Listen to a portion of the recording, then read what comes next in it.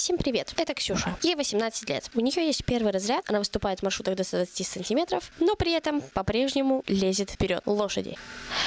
Продолжаем.